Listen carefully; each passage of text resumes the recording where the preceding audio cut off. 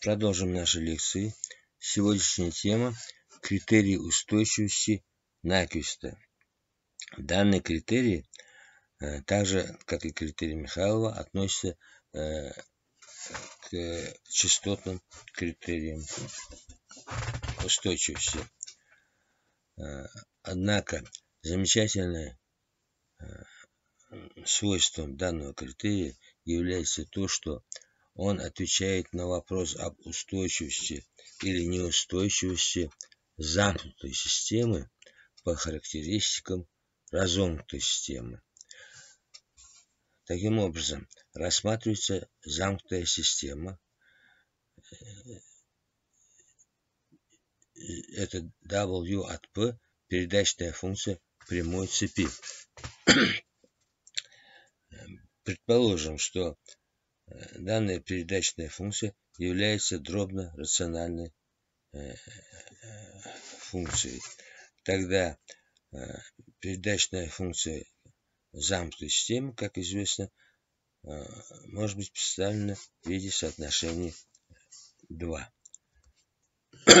Здесь знаменатель передачной функции разомкнутой системы имеет порядок n, и он не, не меньше, чем порядок числителя передачной функции. Характеристическая функция замкнутой системы определяется знаменателем передачной э, функции. Э, или если раскрыть, то э, для знаменателя мы по э, передачной функции замкнутой системы мы получим соотношение 4. Здесь знаменатель выражения 4 и представляете себя характеристический многочлен разомкнутой системы. А числитель это э, характеристический многочлен замкнутой системы из э, соотношения 3 получает, вытекает, что порядок э, числителя выражения 4 также равняется n. Исходя из э, принципа превращения аргумента, мы рассмотрим превращение аргумента для знаменателя передачной функции замкнутой системы. То есть следующее э, выражение. Пусть m это число правых полюсов разомкнутой системы, тогда n минус m э, будет число левых полюсов разомкнутой системы. Пусть L число правых полюсов замкнутой системы. Тогда n минус L будет э, число левых полюсов замкнутой системы. Тогда э, из принципа превращения аргумента мы легко можем получить э, превращение аргумента функции единица плюс W йод омега при изменении омега от минус бесконечности до бесконечности в виде соотношения 6. То есть 2π умноженные на разность между правыми корнями разомкнутой и замкнутой систем. Если э, замкнутая система э, устойчива, тогда L должно равняться нулю. Э, подставляя 7 в соотношении 6, получим превращение аргумента в этом случае для знаменателя передачной функции замкнутой системы. И, наконец, имея в виду, что на практике частоты бывают только положительными, а также учитывая счетную симметричность выражения в квадратных скобках соотношение 8, мы можем рассмотреть превращение аргумента на а,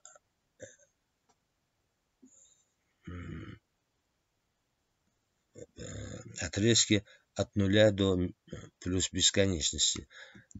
И, соответственно, получится соотношение 9, который и является аналитическим выражением критерия Наквиста.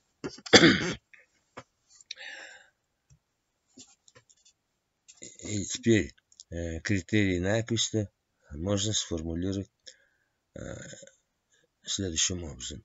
Для устойчивости линейной, стационарной, непрерывной замкнутой системы необходимо и достаточно, чтобы годограф Наквиста охватывал в положительном направлении точку минус э, единица йод 0 m пополам раз, где m число правых полюсов разомкнутой системы. А, это, э, этот критерий иллюстрируется здесь на одном примере. Э, как видите, значит, годограф Найквиста – это на самом деле та линия э, на комплексной плоскости, которая возникает при построении частотной характеристики разомкнутой системы при изменении частоты э, от нуля до бесконечности. Вот это кривая для данного примера. Э, здесь явно видно, что э, Гадорик Наквиста один раз охватывает указанную точку. Вот эта точка в положительном направлении. Это означает, что если э, число правых э, полюсов разомкнутой системы равно двум, то при таком годографе замкнутая система будет устойчива. Э, если число правых полюсов разомкнутой системы отлично от двух, то при данном годографе замкнутая система не будет устойчивой. Э, как видите, э, используется только частотная характеристика или э, разомкнутой системы и число правых полюсов также разомкнутой системы. Если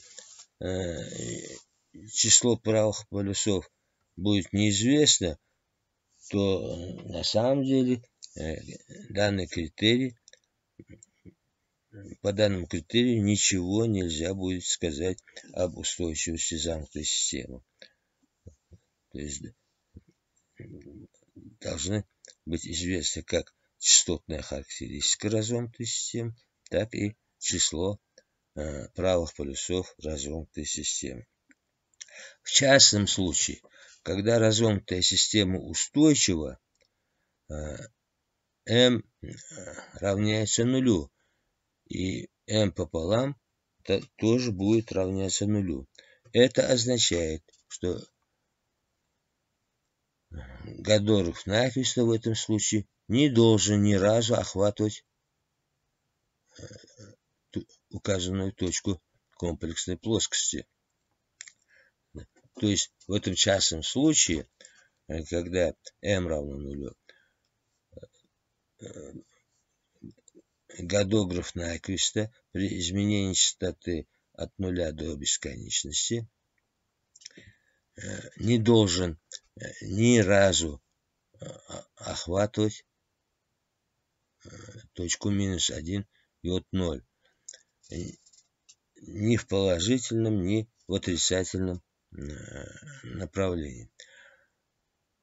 Если же э, годограф Накиста будет охватывать эту точку, ну вот на данном рисунке охватывает в отрицательном направлении, то система, замкнутая система будет неустойчивой.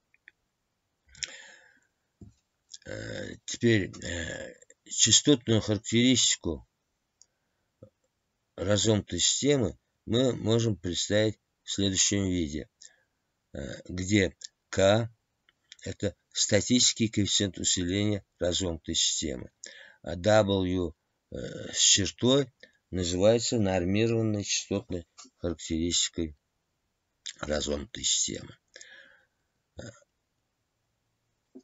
В этом случае э, критерий э, Найквиста э,